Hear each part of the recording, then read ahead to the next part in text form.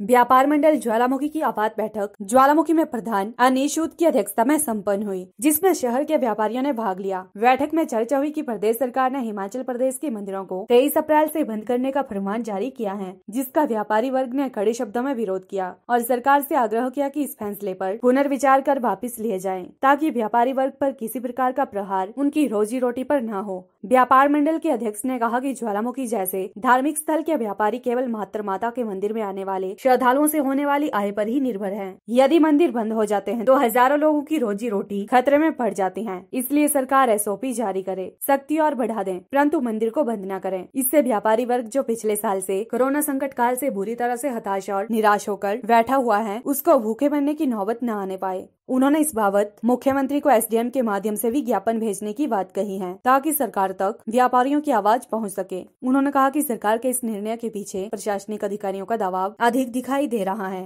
क्योंकि पर्यटन स्थलों में आने वाले पर्यटकों को आने की खुली छूट दी जा रही है, जबकि धार्मिक स्थलों को बंद करके धार्मिक पर्यटकों को रोका जा रहा है, जिससे हज़ारों लोगों की रोजी रोटी पर खतरा पैदा हो गया है। यदि सरकार ने व्यापारियों की मांग पर गौर नहीं किया तो व्यापारी सरकार की किसी भी नीतियों और कार्यक्रमों को क्रियान्वित करने में सहयोग नहीं करेंगे और सरकार के खिलाफ जोरदार प्रदर्शन करने पर विवश होंगे, जिसकी जिम्मेवारी सरकार और प्रशासन की होगी।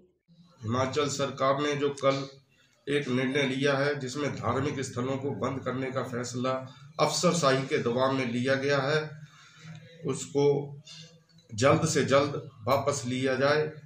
व्यापार प्रकोष्ठ जिला देरा इसका विरोध करता है और धार्मिक स्थलों को खोलने के लिए एक एसओपी जारी करके श्रद्धालुओं को दर्शन कराए जाएँ।